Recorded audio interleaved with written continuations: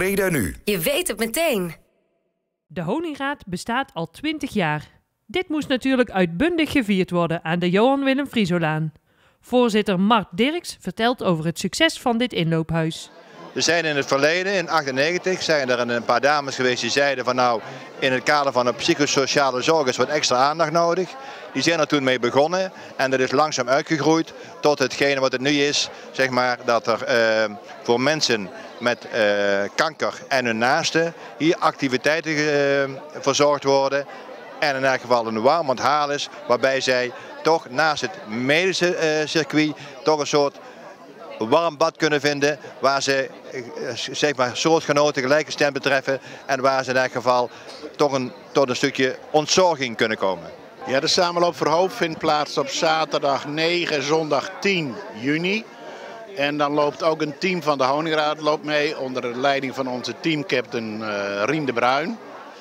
Dus we moedigen heel veel mensen aan die dit zien. Kom allemaal 9 of 10 juni als u tijd hebt naar het veld van Sprint, onze atletiekvereniging in Breda, om uh, alle mensen die daar lopen tegen kanker, om die mensen aan te komen moedigen. Het, is, het, het wordt allemaal gedaan door vrijwilligers. Hè. Iedereen doet het uh, voor niks. Alles doet, inclusief directeur, allemaal vrijwilligerswerk. En we zijn heel erg afhankelijk van giften en donaties.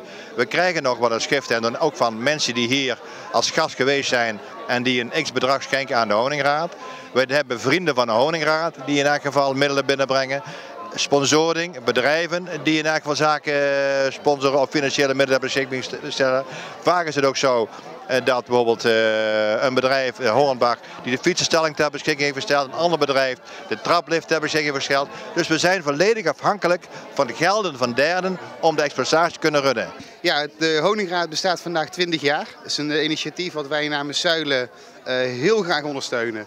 Het is een mooi laag, laagdrempelig initiatief um, om mensen die uh, helaas met de ziekte die wij ook vaak zien, uh, wat troost te bieden, praktische ondersteuning en even de zorg van alle dag kunnen vergeten. Ze kunnen naar de website. De uh, website is de laat vrij recent heel actueel gemaakt. Ze kunnen naar de website. En ze kunnen ook altijd met iemand in de Honingraad bellen. Want er zijn altijd mensen in de Honingraad om te zeggen van nou, wij zouden aan dit goede doel een bijdrage willen leveren. En daar zijn wij heel blij mee.